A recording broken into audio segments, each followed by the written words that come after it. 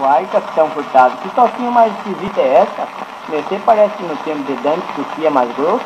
Devera. E o que foi isso, capitão? É, foi a baixa do café.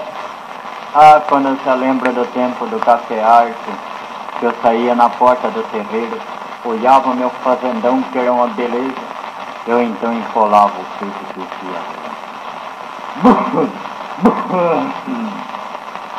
O diabo do café deu abaixo, caiu, minha fazenda deixou de ser fazenda, passou a assistir um psiquiátrico por aí.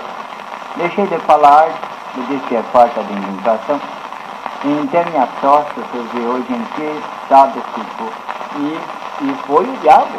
A família do Ranchinho também ficou na lira, com a tarde baixa do café. É, e a família do Avarenga também não ficou muito boa não. Tanto assim que estirando na baixa do café, mas vivenciamos uma, uma moda triste, não foi? É.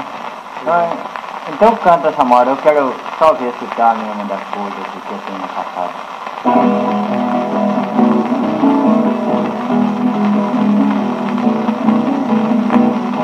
Café já deu a baixa no mercado de estrangeiro Não se vende mais café, acabou que só vendeu Com a baixa do café, acabou o ganho dos carreiros